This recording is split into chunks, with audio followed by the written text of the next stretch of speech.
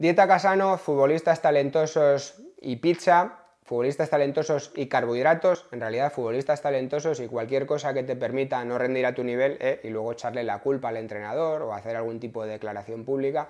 Hoy es semana de Champions y como no, vamos a hablar de los equipos italianos en Champions.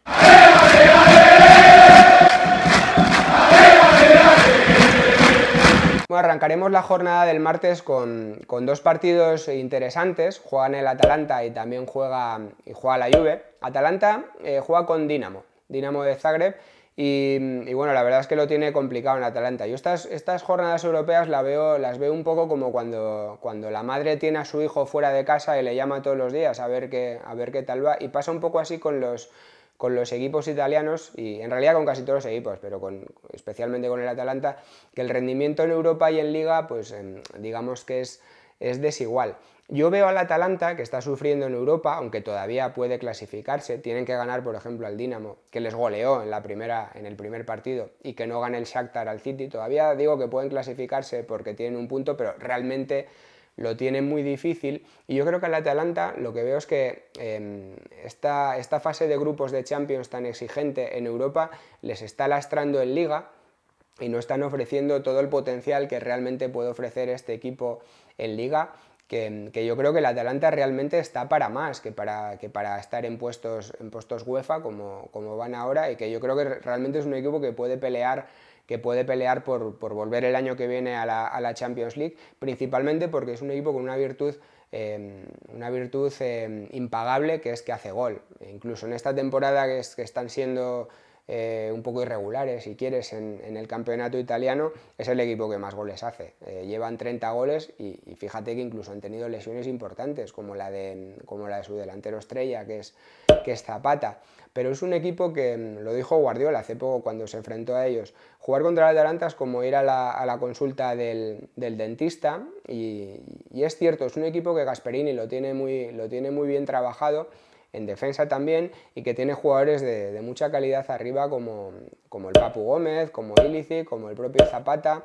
gente en las bandas que, que, llega, que llega con facilidad arriba y por eso es un equipo tan goleador. Y a mí la impresión que me da el Atalanta y, espero eh, espero que vayan adelante en Champions, pero, pero si no, no sería un gran drama porque me parece que, que si, el, si el Atalanta se libera un poco de la exigencia máxima de la Champions League, va a poder rendir muchísimo mejor en liga y,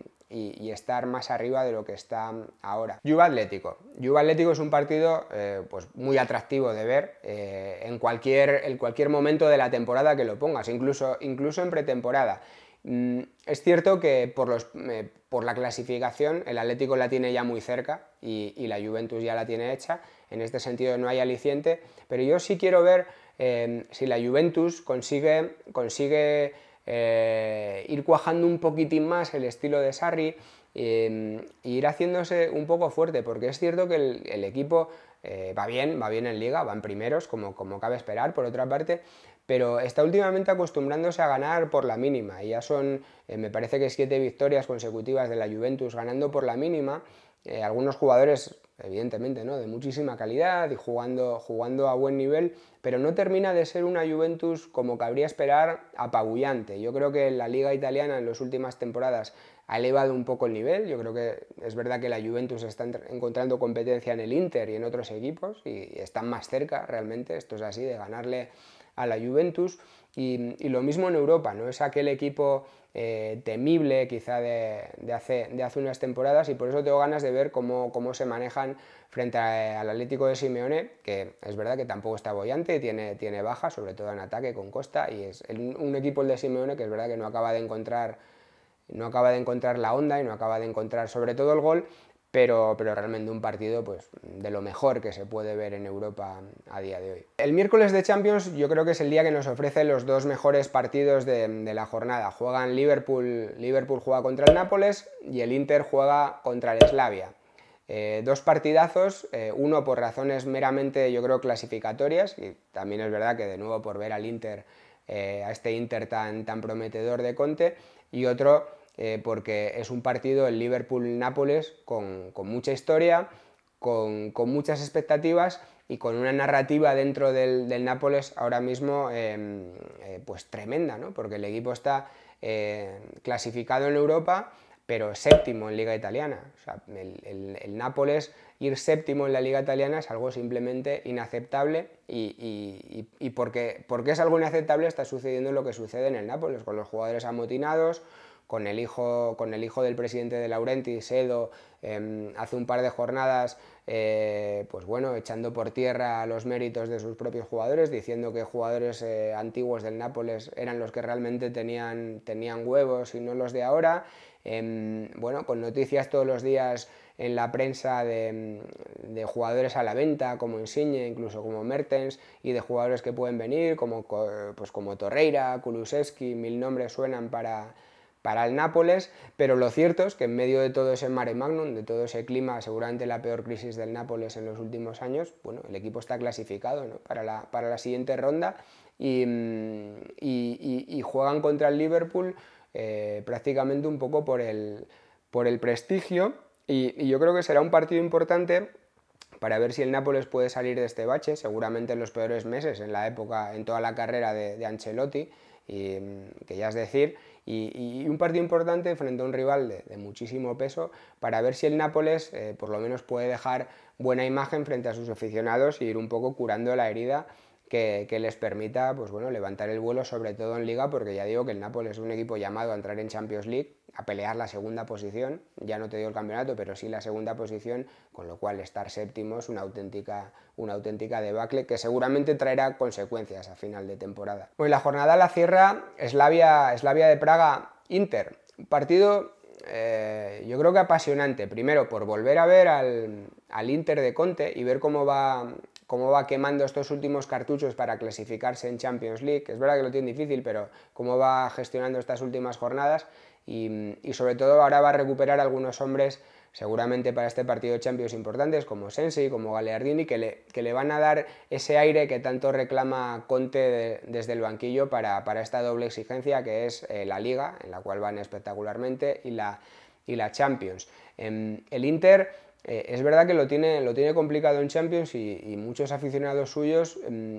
no ven con malos ojos una caída a la Europa League, una competición realmente de menos exigencia que la, Champions y poder hacer, poder hacer camino en esta, en esta competición. Bueno, veremos. Veremos hasta dónde llega el Inter, que yo creo que sí tiene, tiene potencial para avanzar, pero la verdad que el grupo en el que han caído, un auténtico grupo de la muerte, pues ha, ha, complicado bastante las cosas. Y luego quiero ver, quiero ver al Slavia porque son dos empates ya en esta fase de clasificación. En la ida complicaron muchísimo las cosas al Inter de Milán, también se las complicaron al Barcelona y es un equipo siempre agradable de ver, valiente, quizá no el equipo más técnico de la competición, pero sí seguramente y quizá el más valiente de todos los de, todos los de, la, Champions. Y, el Inter tiene una, una visita complicada a Praga y vamos a ver cómo lo gestionan los hombres de, Conte y puede ser un partido importante para ver el, nivel exacto del Inter este año.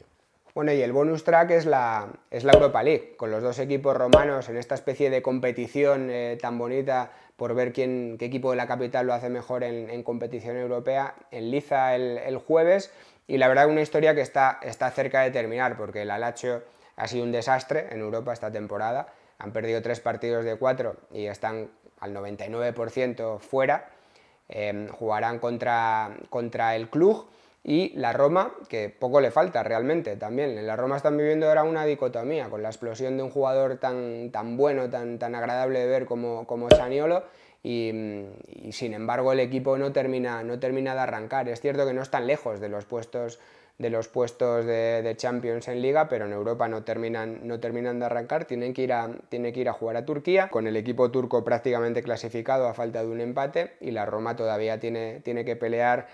esa clasificación. Es una pena que, se termine este paseo de los equipos romanos por Europa, porque estaba dando grandes relatos. Una Lazio muy bien en Liga, muy mal en Europa, una Roma no tan bien en Liga, y quizá un poquitín mejor en Europa, pero, pero no tanto, y la explosión como digo, de, de Bueno, ¿y vosotros qué pensáis eh, de los equipos italianos en Champions y en UEFA? ¿Llegarán eh, lejos? Eh, ¿Qué pensáis de los equipos que pueden caer de repente a, la, competición en UEFA? ¿Qué futuro, ¿Qué futuro tienen? Bueno, dejadlo en los comentarios, aquí en nuestras redes sociales también con el hashtag Dieta Casano y lo comentamos en próximos vídeos. También qué equipos italianos lo han hecho maravillosamente bien en Europa o desastrosamente mal, lo comentaremos si queréis en, próximos vídeos y mientras tanto, ya sabéis lo de siempre, homenaje a Juan de Pablos con Forchas, a Luti a Tutti, Baccioni, Arrivederci, Auguri, Boca al Lupo e a Presto Pino.